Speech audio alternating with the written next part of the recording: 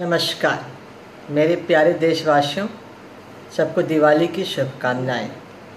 ईश्वर से प्रार्थना करती हूँ कि हमारा देश खुशहाल और जीवन से परिपूर्ण रहे। माँ लक्ष्मी और सरस्वती की कृपा चिरकाल तक बनी रहे। हम सब भारतीय धर्म और जाति से ऊपर उठकर एकता का संदेश पहुँचाएँ। साथ साथ मैं सुप्रीम कोर्ट का भी सम्मान करती हूँ कि उन्होंने दिल्ली एनसीआर में पटाखों की बैन की है। मैं आप लोगों से भी अपील करती हूँ कि पटाखे न जलाएँ। इससे समाज में रह रहे हर व्यक्तियों पर इसका प्रभाव पड़ता है। सबसे ज़्यादा बुज़ुर्ग और बच्चे इससे प्रभावित होते हैं।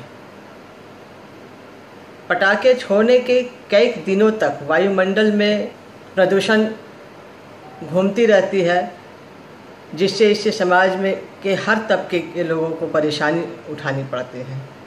धन्यवाद।